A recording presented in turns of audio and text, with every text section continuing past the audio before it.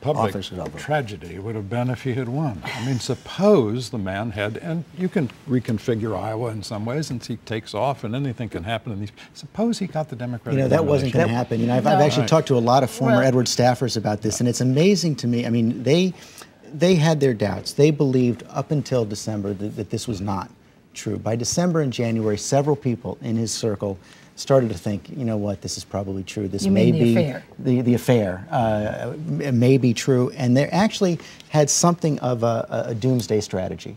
Several of them had gotten together and basically said, if it looks like he's going to win, we're going to sabotage the campaign. Oh, we're going to blow it up. Well, I ask you- why, and why, why they- do that? Why Uh, not yes, just get out of the I- I, uh, campaign, or why not go public in, I- in the, the answer, first the, place? an- the answer they give is that in December, in January, he probably wasn't going to win. Why? Why bring everybody through it? But then, if he were, they saying they're Democrats first, and they would have found a way to get the information out so that he was not mm-hmm. the nominee. But if they would have sabotaged a campaign, it looked like it might be successful.